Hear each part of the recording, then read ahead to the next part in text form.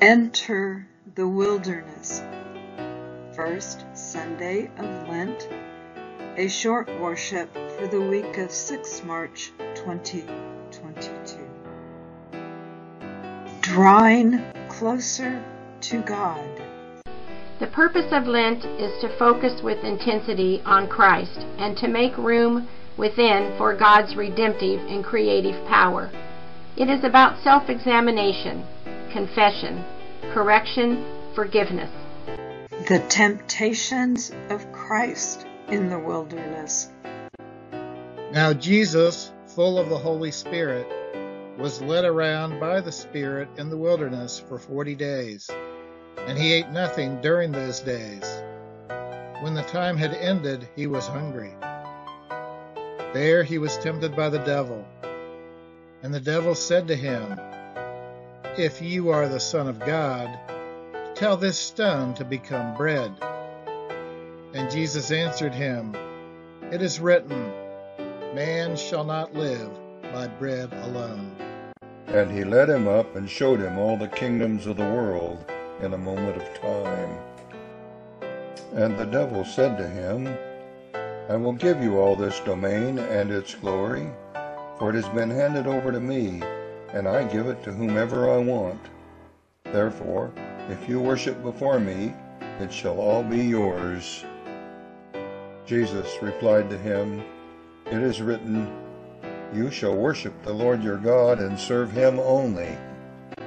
And he brought him into Jerusalem and had him stand on the pinnacle of the temple and said to him, If you are the Son of God, Throw yourself down from here, for it is written, He will give His angels orders concerning you to protect you, and on their hands they will lift you up so that you do not strike your foot against a stone. And Jesus answered and said to him, It has been stated, You shall not put the Lord your God to the test. And so, when the devil had finished every temptation, he left him until an opportune time. Consider your own desert places. What are you called to release and resist in the desert? When do you justify saying yes when the invitation is to say no? How do you discern the difference between the two?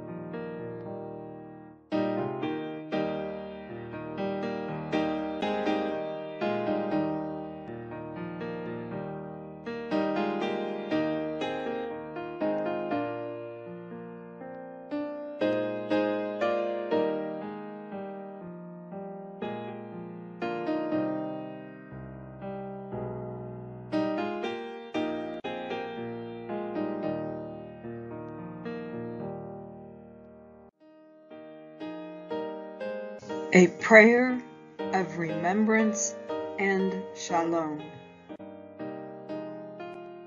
God of shalom, as we enter the season of Lent, may we be awake to the opportunities for renewal and change, that we can be your agents for peace in our daily life.